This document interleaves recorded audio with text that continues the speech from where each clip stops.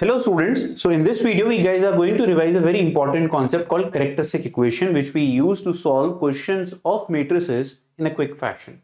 Just quickly summarizing what is a characteristic equation. So if A is a matrix, a square matrix uh, and a non-singular let's say for example. So A minus lambda I where identity matrix इसका determinant solve करोगे? Equal to zero this will give you an equation किसके term में आएगा सोचो? Yes it will come out in the parameters term that is lambda के terms में आएगा। तो लैम्डा के टर्म में जो इक्वेशन बनेगा that will be a equation matrix नहीं बचेगा, वो इक्वेशन बनेगा।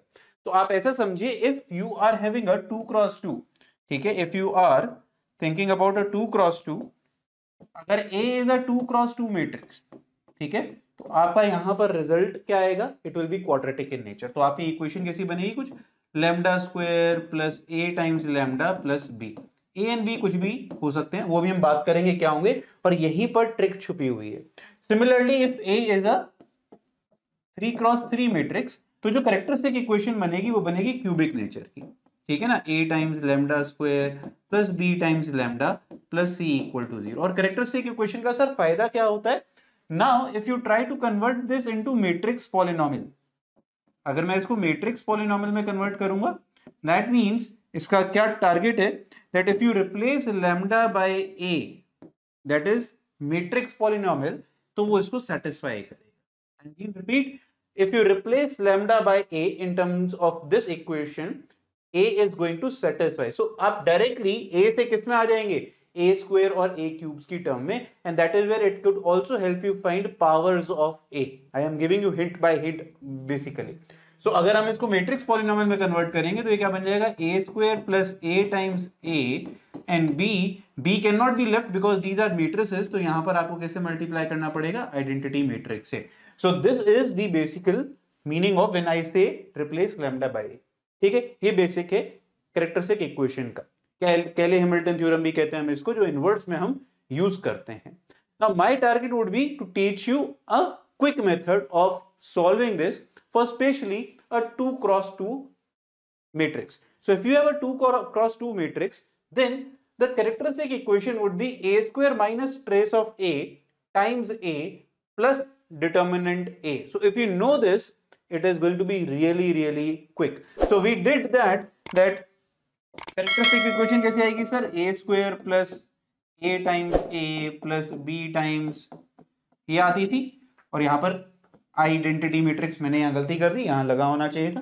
तो A square plus A plus this ये क्या हो जाएगा? A square minus times trace of A and this so that means this A comes out B minus times trace of A matrix and B की value क्या हो जाएगी? Determinant of A how to utilize this particular property prove करना बहुत आसान है, आप prove करिएगा I am not getting into proof let's see how this question can be solve using these kind of properties अब ये देखो, m is equal to two cross two तो टू क्रॉस टू आ गया तो इसका मतलब जो इसकी कैरेक्टरिस्टिक इक्वेशन होगी that will be quadratic in nature alpha times i plus beta times m inverse find a and alpha and beta हमें ये करना है फाइंड तो अगर मैं इसको देखता, ये इक्वेशन थी, m is equal to alpha i plus this M inverse right अब अगर एम मेरे पास एक मैट्रिक्स है, ठीक है तो मुझे इसकी कैरेक्टरिस्टिक इक्वेशन 100 परसेंट पता है कैसी होगी? M square minus times trace of M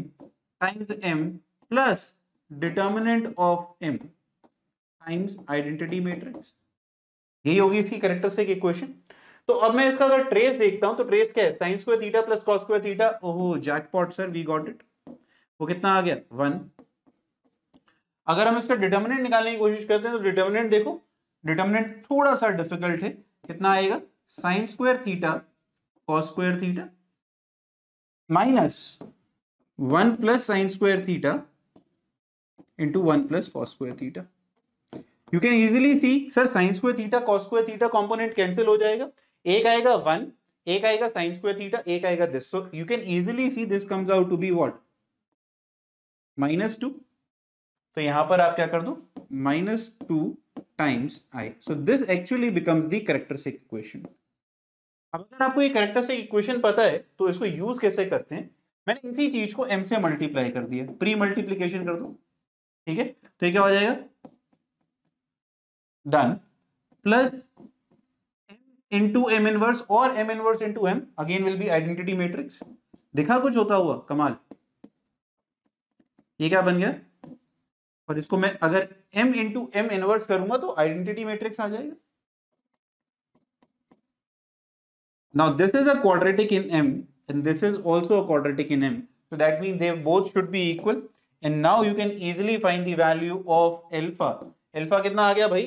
compare कर लो वन बीटा कितना आ गया? बीटा था माइनस बीटा और यहाँ है minus two alpha comes out to be one beta comes out to be two and this is how quickly you can solve using the process of characteristic equation. बहुत जल्दी solve हो जाएगा। समझ में आया? ये two cross three cross three का भी एग्ज़ाम्पल होता है कि थ्री क्रॉस थ्री मैं एग्ज़ाम्पल दे देता हूँ बट जनरली वो यूज़ नहीं करते हैं हम लोग। आई टी जेई लेवल पे A cube minus trace of A A square ठीक है? माइनस आया तो अगला plus plus sum of minors along major diagonal times A minus determinant of A times I तो वो एक प्रोसेस और होता है जो हम डायरेक्टली यूज़ कम करते हैं बट टू क्रॉस टू में it is really really beneficial ठीक है? नाउ द क्वेश्चन इज़ हमने बात करी थी कि सर ये पावर्स को भी सॉल्व uh, करने में हेल्प करता है।